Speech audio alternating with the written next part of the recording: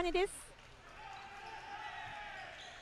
ヤーニマー。強烈ですねヤーニマー選手。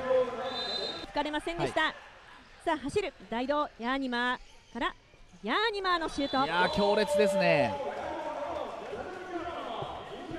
今森選手ああこ7メーターシュートですね。はい。はい、ですね今、はい。そして間もなく退場を空けます。ヤーニマー。いや強烈大道特殊校のボール。ヤーニマー決まりました。しかしあ久保が止めてリバウンドは大道特殊校のボールです。ナイスキーでしたディフェンスで、はい。でヤーニマーいやー強烈ですね。込んで決めました。やっぱり走りこあれだけ走り込まれると。大道特殊校のボール。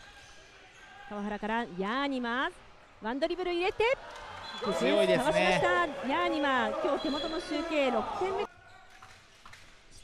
ヤーニマーボールはキープしている大道特殊校さあ空いたか、い。やー強烈。ヤーニマーあの大崎としては痛かったっていう。佐藤そして川原。ヤーニマー影から。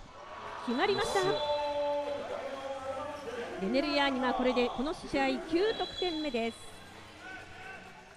ディフェンスの影か。ヤーニマーから谷大輝そしてヤーニマ。ー。これはゴールキーパーからは見えないの。そうですね。見えないです